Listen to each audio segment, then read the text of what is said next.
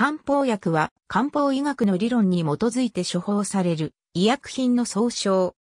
古代中国大陸においては、複数の気薬を組み合わせることにより、ある薬理作用は強く倍増する一方で、ある薬理作用は減衰することが発見された。その優れた気薬の組み合わせに対し、葛根湯などと漢方薬命名が行われ、後世に伝えられた。漢方医学の特徴は、伝統中国医学と同様に体全体を見るところにあり、証という概念を持っている。証は主に体質を表す。この点で西洋医学とは大きく異なる。漢方診療は証に従って治療するが原則であり、体全体の調子を整えることで結果的に病気を治していく。このため症状だけを見るのでなく体質を診断し重んじる。西洋医学が解剖学的見地に立脚し、臓器や組織に病気の原因を求めるのとは対照的である。同様に漢方薬も証に基づき患者一人一人の体質を見ながら調合される。西洋医薬は体の状態が正常でも異常でも一定の作用を示すが漢方薬は病理状態で初めて作用を示す。中国大陸では数千年の歴史の中で経験に基づく医学が培われた。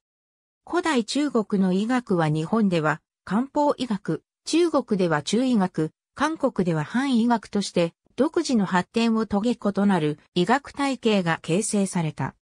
日本への古代中国の医学の伝来は5から6世紀頃と言われている。それが日本の風土や日本人の体格に合わせた発展を遂げ、特に江戸時代中期には日本独自の体系化が進んだ。江戸時代にはオランダを通じて体系の全く異なる西洋医学が伝来し、乱法と呼ばれるようになり、伝統医学の方は漢方と呼ばれるようになった。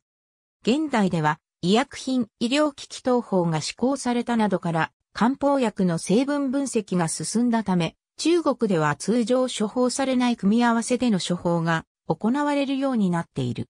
ただし、例として、日本の大手メーカーである津村でも、原料である木薬の8割を中国から輸入している。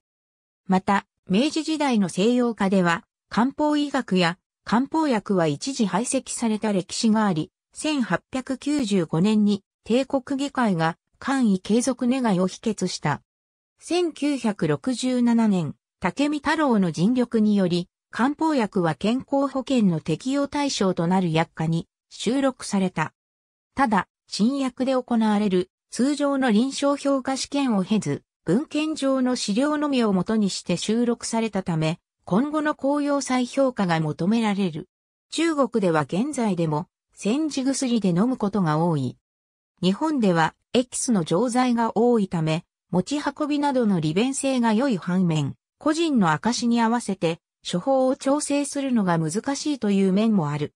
一般的には、精油成分が粉末にする際に蒸発しやすいこと、また、液体状態にて服用した方が、消化器にて吸収しやすいことから、煎じ薬の方が、エキス状より、効き目が早く、そして強いと言われる。大韓民国では、漢方ではなく、半型、漢薬の故障が一般的である。これは韓国においても、巨春の東位法官等で漢方医学が独自に体系づけられたからである。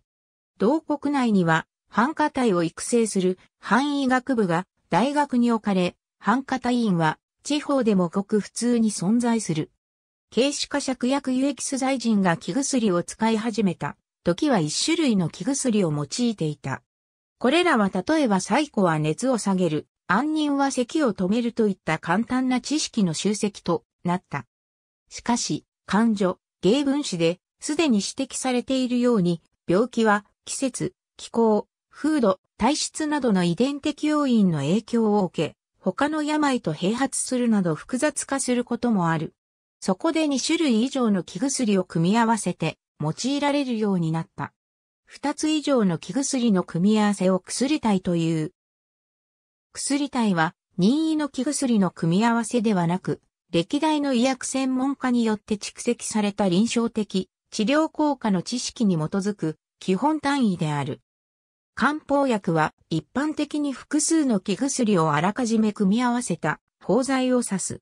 この包剤により効能が大きく変わる。肝臓油のように肝臓だけの包剤もあるが、稀な例外である。また漢方薬は東洋医学の理論に基づき処方されるのに対し、民間薬は経験的な民間伝承によるものである点で、両者は異なるとされる。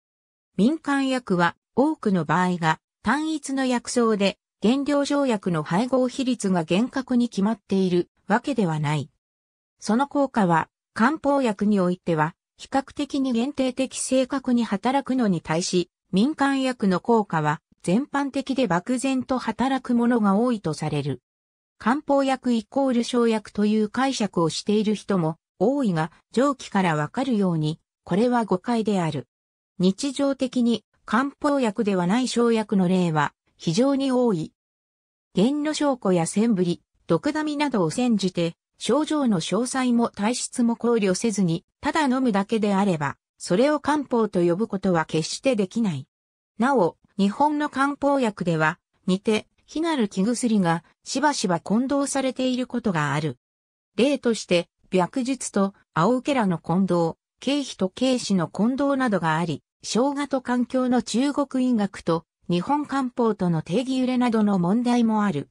近年、世界の伝統医学の気薬、薬草の現代医学の視点からの作用基準の研究が進められており、漢方薬についても例外ではない。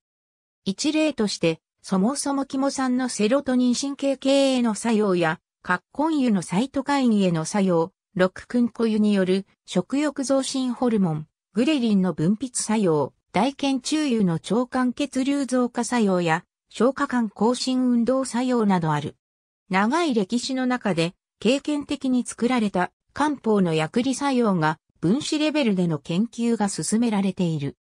業界団体である日本漢方製薬製剤協会も2018年にまとめた漢方の将来ビジョン2040で漢方薬のエビデンス集積を掲げた。漢方薬は他の漢方薬や西洋薬との飲み合わせに問題がないという誤解がしばしば見受けられるが、これは正しくはない。他の薬の効果に影響し、悪い作用をもたらすこともある。特に同じ効能を持つ薬との重複は禁忌である。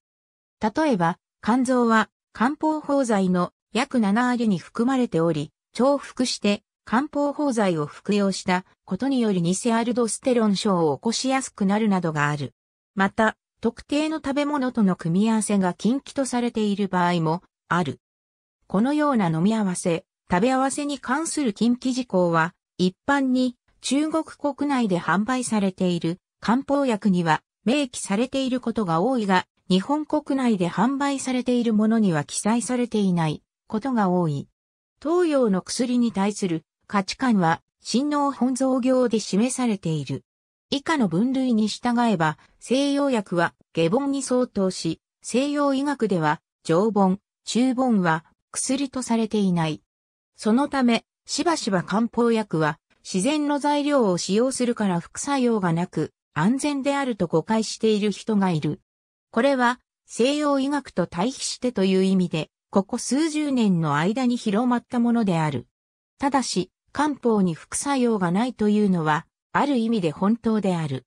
これは、薬が天然のものだからという理由でなく、漢方の方法論において、副作用という概念がないということによる。漢方では、副作用が出た場合は誤治、すなわち診断ミスか投薬ミスとみなされる。漢方では、理論上は、副作用があって治癒できるなら副作用なしでも可能であるとされている。このことを理解するには、証の概念について詳しく知る必要がある。西洋医学の視点からは、漢方薬の摂取による副作用として、肝臓による偽アルドステロン症や小細固油による間質性肺炎や肝機能障害などがよく知られている。また、ゴチとアレルギー反応は区別すべきである。一方、漢方医学には、免検という概念がある。治療中に一時的に病状が悪化し、その後に完全に回復するような状態を指す。漢方医学以外の代替療法や民間療法などで好転反応という言葉を耳にすることがあるが、ほとんど同じ意味である。これは、副作用とは異なると説明されるが、実際に症状が出ている時点での区別は困難で、事後的にのみ確認できる。結局は、医師の経験によって見分けるしかなく、あまり当てにならないので、面見らしきものがあれば、ただの誤知だったと考える方が無難である。この概念は、日本独特であり、かつ、日本でも江戸時代はあまり認知されていなかった。また、漢方医学でも古法派の面見を積極的に歓迎する立場は、副作用の考えに近い。特に作用の強力な薬剤として、副作用に注意するものには、地王、魔王、大王、武士、暴将、当人が挙げられる。厚生労働省の薬務局で発表される医薬品の副作用モニター調査結果などに漢方薬の名も掲載されることがあるという。例えば、詳細固油や蜂蜜を丸、葛根油などの名である。だが、これらの副作用として報じられたものが、果たして化学薬のサリドマイドの再起型や、ストレプトマイシンの難聴のような副作用と同じものとして扱っていいかというと、全く違うのではないか、と、大塚康夫は述べている。というのは、もし、詳細固油や蜂蜜用丸を正しい診断のもとに使った結果、好ましくない作用が生じたとすればそれは副作用と言っても仕方ないことだが、必ずしも適正に使用されなかったのではないか疑問があると、大塚康夫は述べている。使うべきでない状態の患者に間違って使用した場合、好ましくない副作用が出て当然だと思われると指摘している。漢方薬の名称の最後の文字には次のようなものがある。湯が最も多く、酸がそれに次ぎ、その他は比較的少ない。漢方薬の名称には時に次のような文字が入ることもある。韓国では以下の大学に翻訳学科が設置されている。西洋薬を主としている日本では漢方薬学を中心として講義する大学はごくわずかである。中国や韓国では西洋医学、伝統医学について医師、薬剤師は教育課程が別であり、免許も別である。一方、日本では医師免許、薬剤師免許は一本化されており医師免許を持っていれば西洋薬も漢方薬も処方でき、薬剤師免許を持っていれば西洋薬も漢方薬も販売、調剤できる。これは一つの免許で総合的な医療に対応できる反面、漢方薬も含めた東洋医学の専門性を持つ医師の育成が難しいという課題を持つ。ありがとうございます。